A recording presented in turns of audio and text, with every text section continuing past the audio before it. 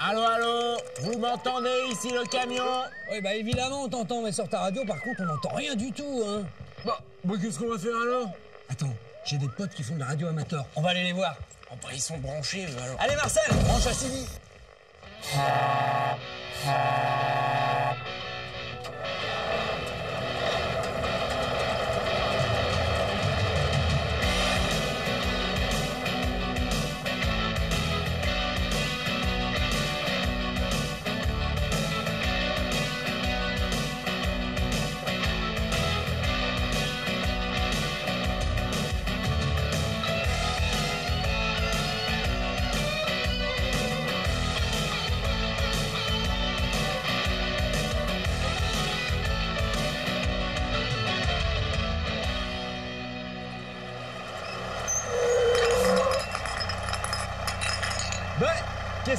Passe Oui, bah laisse tomber, on est en panne, en pleine campagne. Moi, je finis en mob, hein. Tu me prêtes ta mob Euh, ouais, mais t'en prends soin, hein Elle est presque neuve Bah, J'espère qu'il va pas la casser. hein.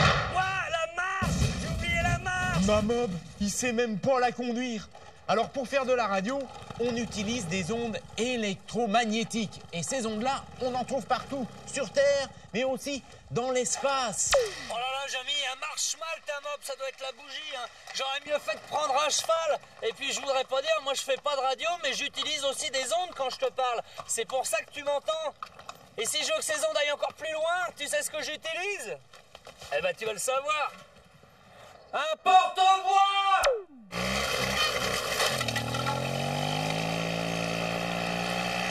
Elle marche très bien, la mob. Et puis d'abord, lui, quand il parle, il n'utilise pas des ondes électromagnétiques, il utilise des ondes acoustiques. Autrement dit, il fait vibrer de l'air, ça fait vibrer nos tympans, et c'est pour ça qu'on entend. D'ailleurs, ces ondes-là, on peut presque les voir. Regardez, quand je frappe, je fais vibrer de l'air, ça fait vibrer la membrane.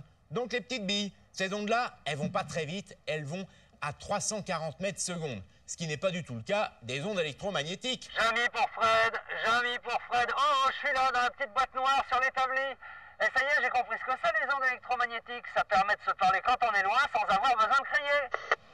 Hé Jamy, viens voir par là. Regarde, je suis au moins un kilomètre de toi et pourtant tu m'entends. Il n'y a pas de fil entre nous. Il y a juste ces deux petites antennes. C'est magique. C'est pas comme ta mob. Hein. Doucement avec ma mob, elle est unique. C'est pas comme les ondes électromagnétiques. Là, il y en a tout un tas de sortes. C'est ce qu'on appelle le spectre. Alors d'abord, il y a les ondes électromagnétiques qui nous permettent de voir le monde en couleur depuis la nuit des temps. Bah oui, les couleurs de l'arc-en-ciel, ce qu'on appelle la lumière visible, ce sont des ondes électromagnétiques. Les ondes électromagnétiques avec lesquelles on fait de la télé ou de la radio, elles sont de même nature, sauf qu'elles sont beaucoup plus grandes, mais ça, on y reviendra tout à l'heure. Lorsque l'on fait une radiographie, on utilise encore des ondes électromagnétiques, mais celles-ci, elles sont beaucoup plus courtes que la lumière. Alors toutes ces ondes électromagnétiques n'ont rien à voir avec les ondes acoustiques. Celles-ci, elles vont à 300 000 km secondes, autrement dit la vitesse de la lumière, alors que les autres, les ondes acoustiques, elles n'allaient qu'à 340 mètres secondes. Et voilà, on est arrivé, Jamy. Eh dis donc, t'as vu les antennes qu'ils ont ici? C'est autre chose que celles de tes petits engins. Hein Et avec le matériel qu'ils ont à l'intérieur, ils sont capables de communiquer avec le monde entier, mes potes. Attends-moi, Fred. Fred, attends, s'il te plaît. Merci. Ouais, la carte. Mais avec qui vous parlez, monsieur? Je suis en communication avec un autre radioamateur à Kourou en Guyane. Ici Foxtrot 6 kW Bravo France à Maison Lafitte. Foxtrot 6 kg Bravo France à Maison Lafitte qui vous écoute. Appel général, appel général de Foxtrot 6 KBF, F6 KBF lance appel général. Oh, qu'est-ce qu'il dit, lui Oh, j'aimerais bien apprendre à décoder tout ça. Et dis donc, comment on fait pour devenir radio-amateur J'ai passé ma, ma licence à l'âge de 13 ans, la licence radio amateur, qui me permet de moduler sur euh, certaines fréquences. Mais euh, je pense qu'à à 16 ans, je passerai une autre licence qui me permettra d'aller encore plus loin et de parler avec le monde entier. Avec le monde entier. Et ça, c'est grâce aux ondes électromagnétiques. Eh Jamy, tu sais ce que j'ai appris? Les ondes électromagnétiques qu'on utilise pour faire de la radio, elles tombent pas comme ça du ciel, il faut les fabriquer. Et pour fabriquer une onde électromagnétique, tu sais ce qu'on utilise? De l'électricité Contact Évidemment.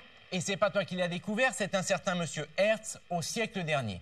Alors qu'a-t-il découvert, monsieur Hertz? Bien sûr, il n'avait pas de radio puisque c'est grâce à lui qu'on a inventé la radio. N'empêche qu'avec son matériel, il s'est aperçu qu'en faisant circuler un courant électrique puis en le coupant, c'est-à-dire en faisant varier le champ électrique, ce que je fais avec cette ligne et ce fil, on créait une réaction à distance des parasites. En fait, pour la première fois, M. Hertz a mis en évidence qu'une sorte de force partait d'un point pour aller à un autre point et que cette sorte de force, c'était une onde électromagnétique. Attention, chaud Et tu sais, Jamy, chez nous, ça marche exactement pareil. Pour fabriquer une onde, on envoie un courant électrique qui varie dans une tige de métal. Sauf qu'on n'utilise pas une lime, on utilise une véritable antenne. Parce que ta lime, à toi, elle joue le rôle d'une antenne. Bon, mais je te rassure tout de suite, hein, on a plus petit comme modèle. Et quelle que soit la taille de l'antenne, ce sont toujours des ondes électromagnétiques qui sont émises, jamais du courant électrique. Regardez. Lorsque l'on fait circuler du courant électrique dans une bobine, on crée un champ magnétique et une réaction, un parasite. Si on inverse ce courant électrique,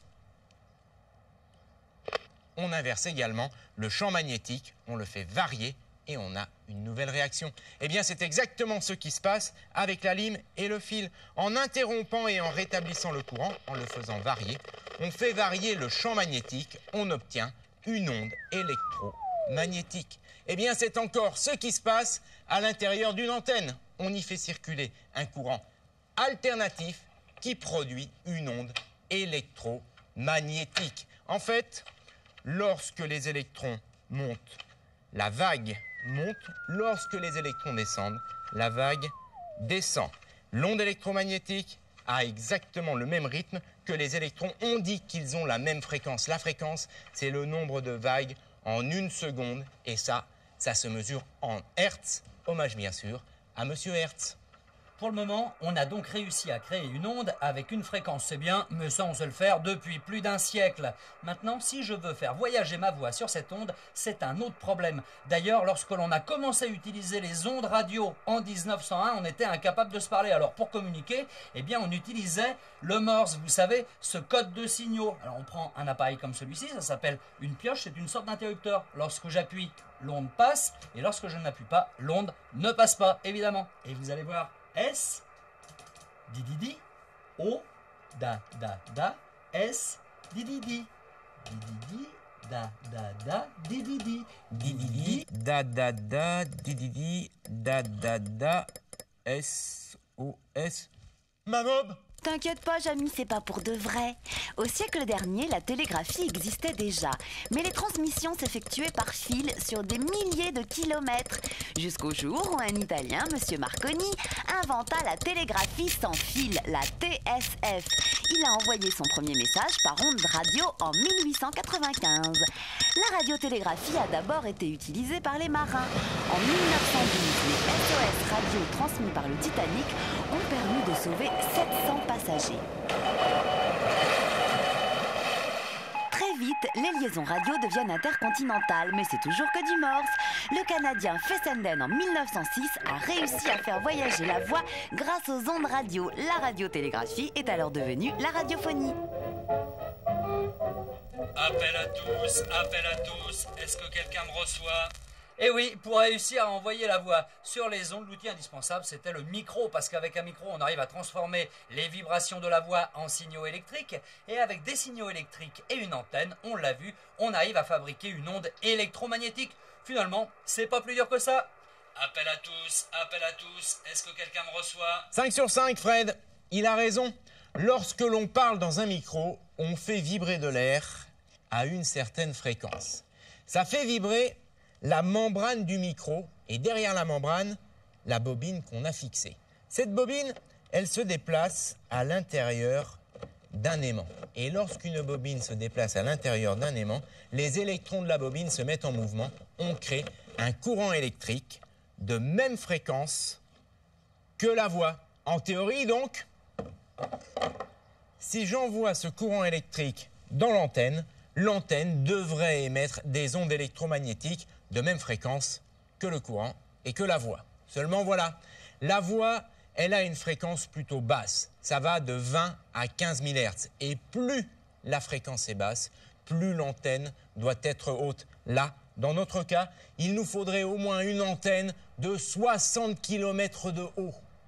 Combien tu dis, Jamy? Une antenne de 60 km Attends, combien faut 11 antennes ici? Au 10 mètres maximum. Maximum? Ah bah tu vois, on n'y arrivera jamais, comment on fait alors?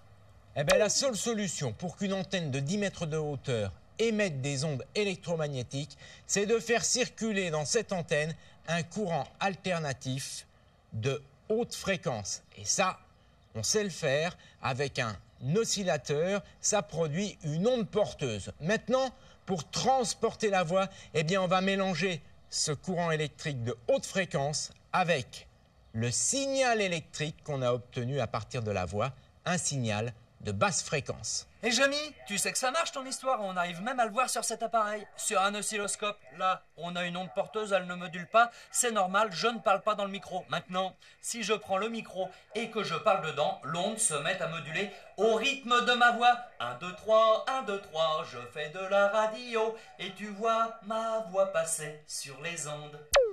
Et grâce à ce phénomène, que se passe-t-il à l'intérieur de l'antenne? Eh bien, on y fait circuler un courant électrique de haute fréquence modulé par le signal électrique produit à partir de la voix. Finalement, ce courant électrique modulé va produire une onde électromagnétique de haute fréquence, mais qui module. 3 UE de 5 RPQ, je vous repasse le micro. Bon, maintenant, pour capter cette onde modulée, il faut une antenne de réception. Et à l'intérieur de cette antenne, qu'est-ce qui se passe?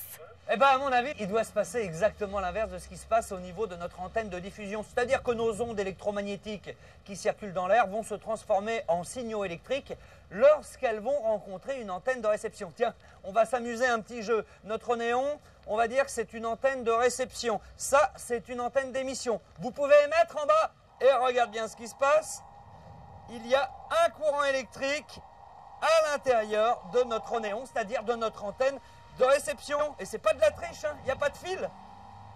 Alors, si je l'approche, j'ai plus de courant électrique. Si je l'éloigne, j'en ai moins. Que se passe-t-il exactement? Eh bien, comme l'a dit Fred, à l'intérieur de l'antenne, les électrons vibrent à la même fréquence que l'onde électromagnétique captée par l'antenne de réception.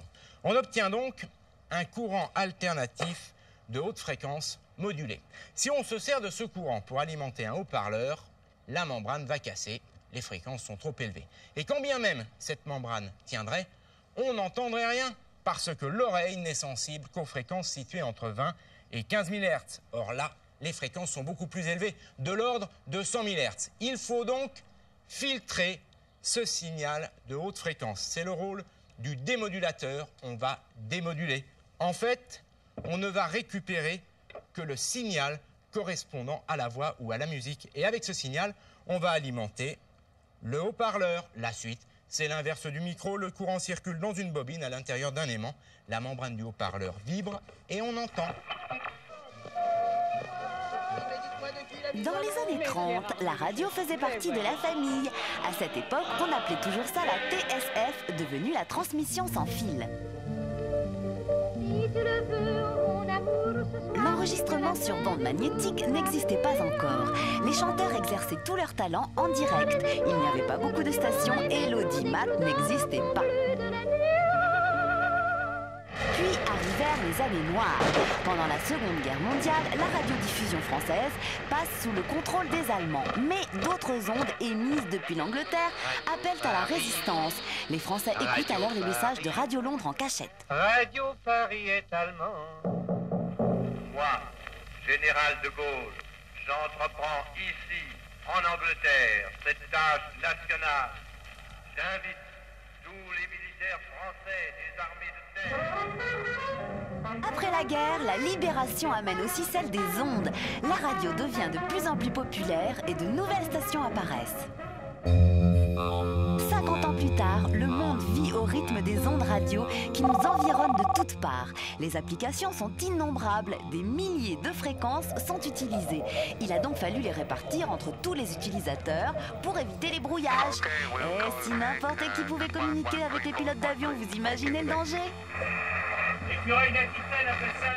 Les marins aussi ont leur propre fréquence pour communiquer entre eux. Une grande partie des fréquences radio sont réservées aux organismes chargés de la sécurité, les pompiers, la police, les gendarmes et bien sûr l'armée.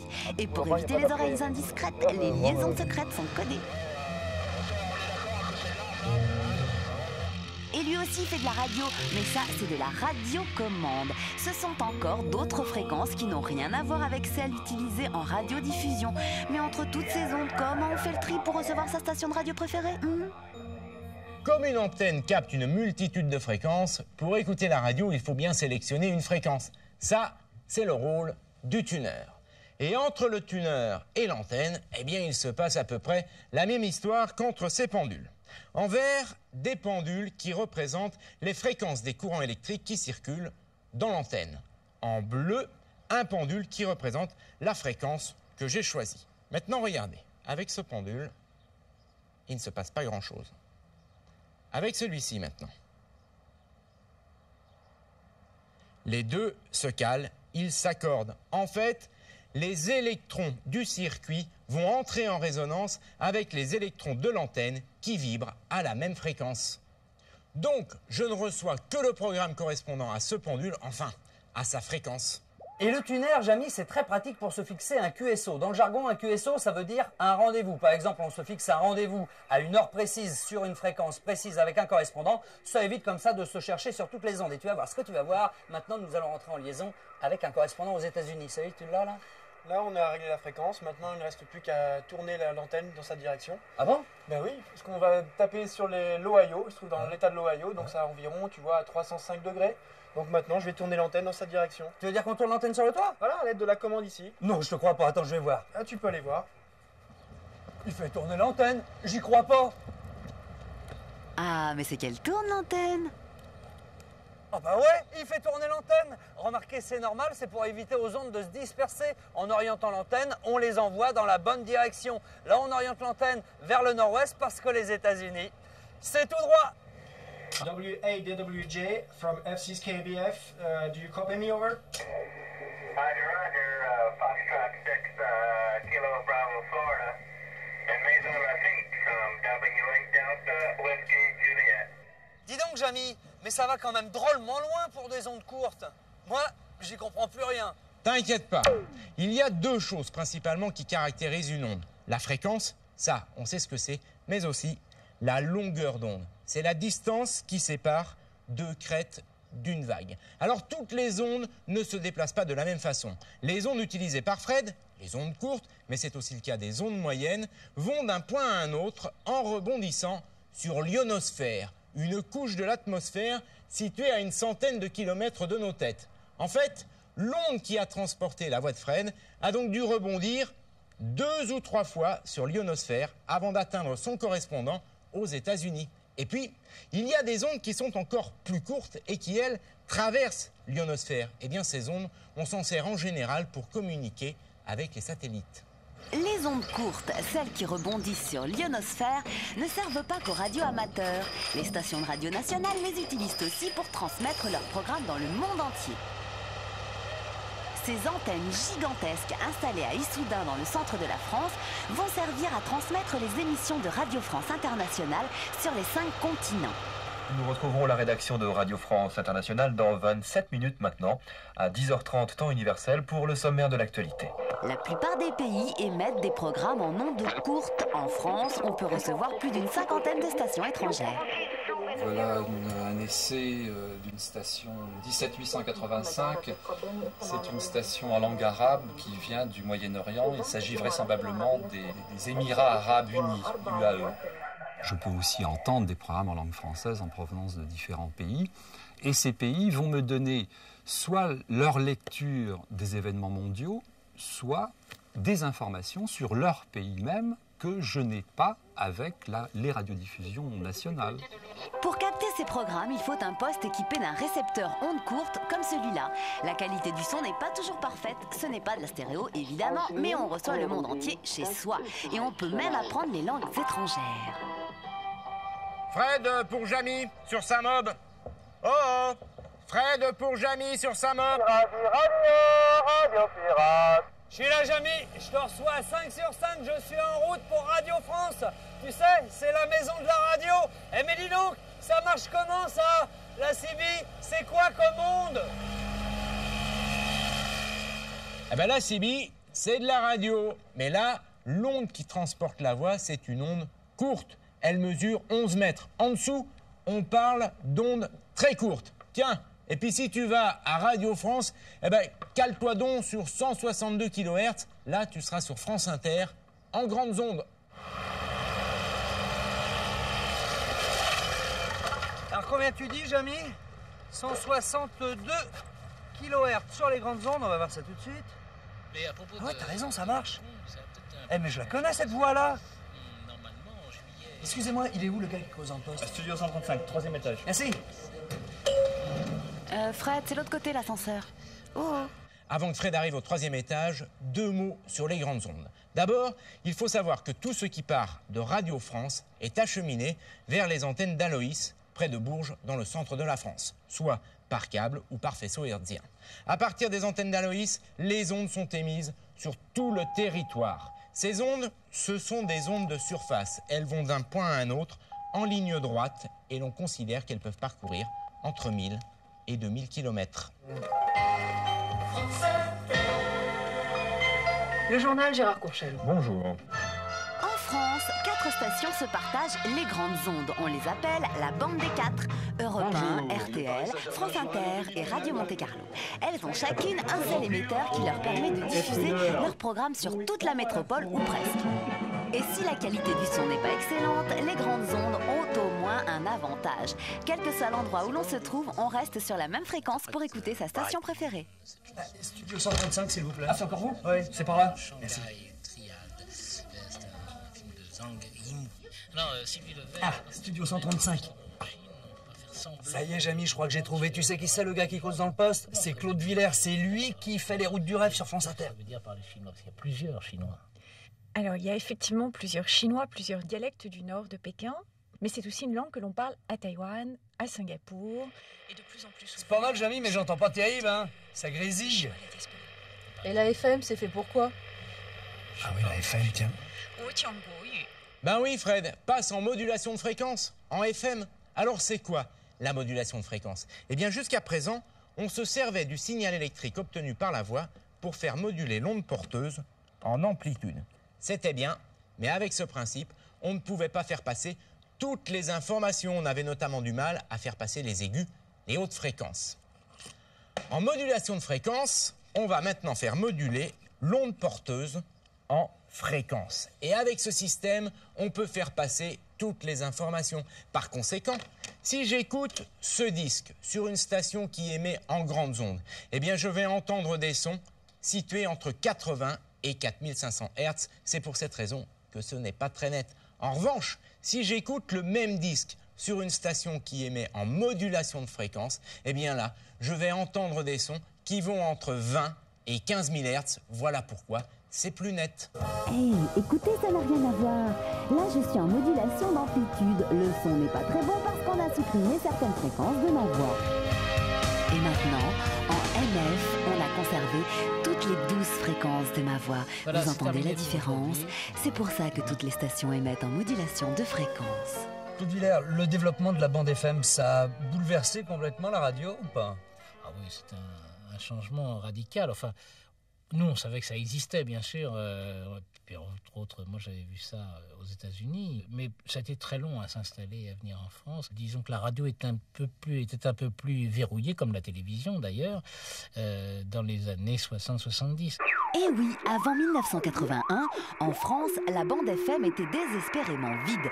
Enfin, presque. Il y avait bien quelques pirates des ondes. Ces radios étaient effectivement euh, recherchées par euh, la police Des gens qui sont allés passer la nuit au poste, d'autres qui ont été condamnés à des, pri- des peines de prison avec sursis, euh, etc. Il y avait la saisie du matériel, ce qui coûte quand même un petit peu d'argent. Aujourd'hui, cette époque est bien finie.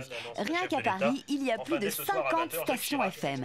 Certaines émettent sur la France entière, comme France Info par exemple. Seul problème, en FM, les ondes ne dépassent pas les 100 km. Donc, pour écouter toujours la même station lorsque l'on se déplace, il faut régulièrement changer de fréquence. Mais la bande FM, c'est aussi des petites radios locales. Et dis donc les gars, et si on créait la nôtre? Allô, allô, allô, allô, allô, Fred de Jamy sur sa mob. Allô, allô, ma mob. Allô, mais ils sont où? Allô? Tiens, les voilà. Eh, sympa, je viens d'avoir un PV avec ta mob. Et j'ai rien compris. Les gendarmes, ils m'ont dit qu'elle faisait de la radio, ta mob. Mais ça, c'est les parasites à cause de la bougie. Comme la lime tout à l'heure. Électricité, champ magnétique, ondes électromagnétiques. Parasites Ah ouais, c'est ça. Bah, t'as intérêt à la faire antiparasiter. Et puis tu vas te payer. Ma mob Ta mob